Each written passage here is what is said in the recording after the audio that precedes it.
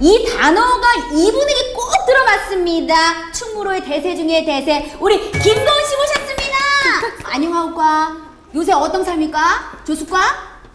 조수다. 조수다. 조수다. 오 다 알아들으시네. 눈치로. 오늘이 정말 중요한 날이라고 들었거든요. 네. VIP 시사회 날입니다. VIP 시사회 날입니다. 어머 세상에 VIP 이제는 거의 MC야. 어떻게 초대 좀 많이 했어요? 네, 열심히 이렇게 좀 와달라고.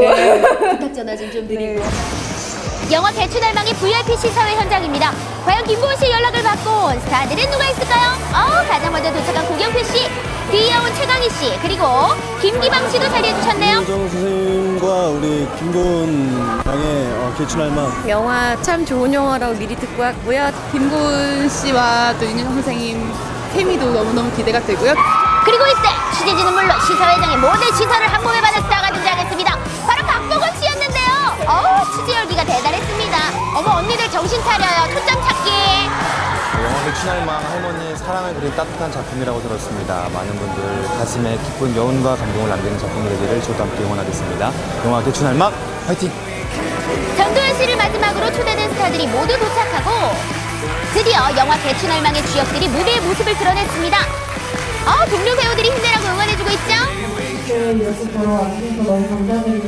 정말 가슴이 따뜻하고 있는 그런 영화니까요. 실망 안 하시고 돌아가게 저희가 만들었으면 잘해봅니다. 윤여정 호흡이 정말 많이 화제가 되고 있거든요. 두 분의 투샷이 거의 친구 같고 또래 같고 그리고 이제 선생님하고 제주도에서 두 달 동안 같이 생활하면서 심적으로 굉장히 친근하게 제가 느꼈어요. 네네. 아니 사실 윤여정 선생님은 뭐깐 영화제, 베를린 영화제 정말 대배우 중 한 분이시고 네.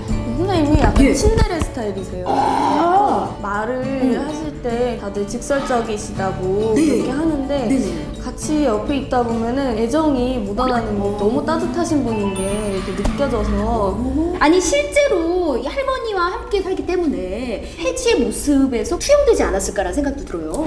네 저는 아, 실제 할머니가 지금도 함께 살고 계시고 그리고 또 지난 제작 보고회 당시 역할을 할머니에게 출연을 눈물을 결심하시게 된 보였는데요. 이유도 그런 부분이었다고 말씀해 주셨는데 그런 할머니한테 느끼는 그런 감정들이 네네. 되게 유사했던 것 같아요. 그래서 뭐 시나리오 읽었을 때 되게 많이 울었고 할머니 혹시 보시고 어떤 이야기 해주셨으면 그냥 여러 가지로 좀 걱정이 돼요. 그게 좀. 할머니 많이 우실 것 같아. 네, 괜히 좀 되게 감성적이세요. 네. 그래서 괜히 그런